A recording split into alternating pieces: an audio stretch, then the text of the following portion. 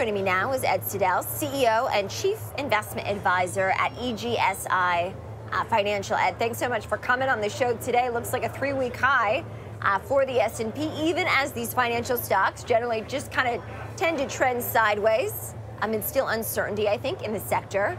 What do you make of the market? You know, it, it's uh, it, it's still very uncertain right now. Um, you know, they're they're kind of looking for just about any kind of good news that that they can get. And you know, when I say good news, I'm talking about bad uh, bad news, right? You know, bad news is good news for the market. Um, you, what we saw, the the GDP came out. It's a little bit higher than um, what most people expected, but still well below the original estimates. They they kind of reduced those estimates.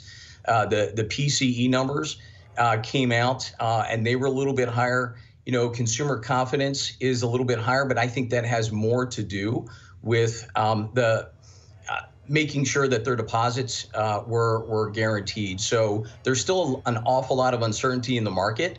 Um, but right now they're they're kind of pricing in um, a decrease in interest rates by the end of the year, and I'm not exactly sure that that's what's going to happen.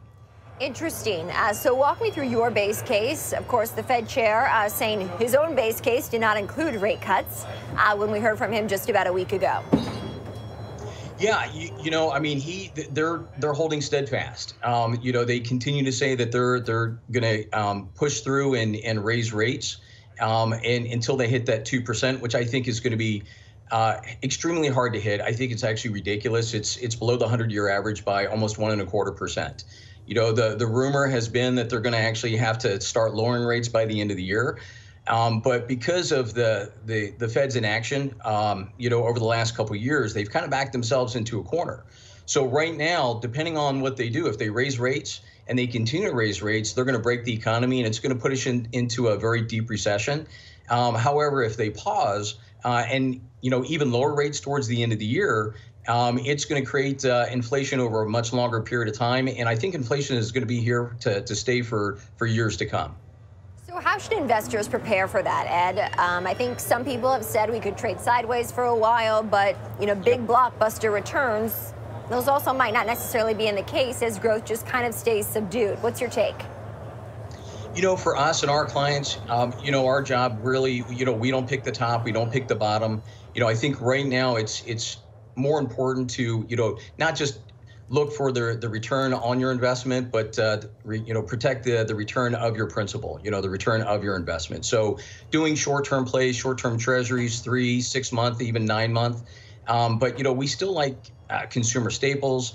Uh, I, I, like uh, energy. I like um, uh, healthcare you know, and, and even hedging inflation and, and doing some precious metals, I think it's going to be really important. But, you know, having a, a high liquidity position and making sure that your money's safe. Yeah. Uh, in terms of inflation, the long term impact, obviously, Ed, I know you said that inflation could be here to stay, right? So for consumers, yeah. what does that mean for them and thus overall GDP growth?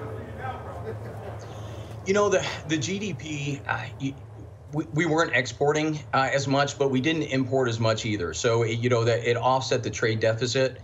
You know, when you look at GDP, you know when when you have growth in the economy, we really need to make sure that it's actual growth, that manufacturing is up, and it's really not. Um, manufacturing is down, and it's projected to to stay down over the next quarter. So you know, from an inflationary standpoint, what can the consumer expect?